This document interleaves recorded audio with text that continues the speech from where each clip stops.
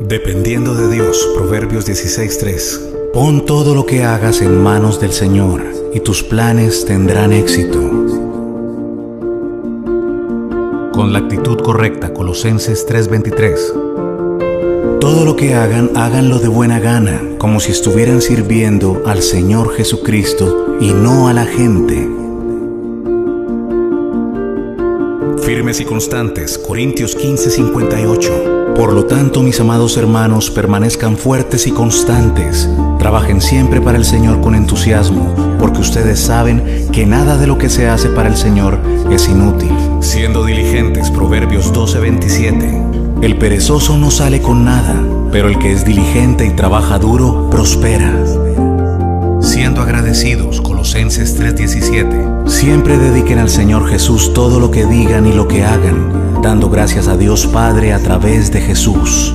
Siendo responsables, segundo libro de Juan 1.8. Tengan cuidado de no perder lo que hemos logrado con tanto trabajo. Sean responsables para que reciban una recompensa completa.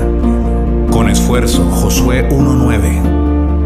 Yo te pido que seas fuerte y valiente, que no te desanimes ni tengas miedo, porque yo soy tu Dios y te ayudaré por donde quiera que vayas. Con orden Primer libro de Corintios 14:40. Pero háganlo todo de manera correcta y ordenada.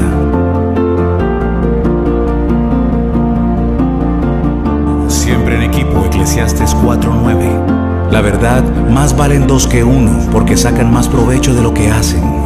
Creciendo constantemente, Salmos 90:17. Y que el Señor nuestro Dios nos dé su aprobación y haga que nuestros esfuerzos prosperen. Sí, haz que nuestros esfuerzos prosperen. Tú eres Hábitat, yo soy Hábitat. No solo trabajamos, servimos entregando lo mejor de cada uno para seguir conquistando todo lo que nuestro Señor determinó que estableciéramos para bendición de muchos la tentación y líbranos del mal. Amén. Por siempre.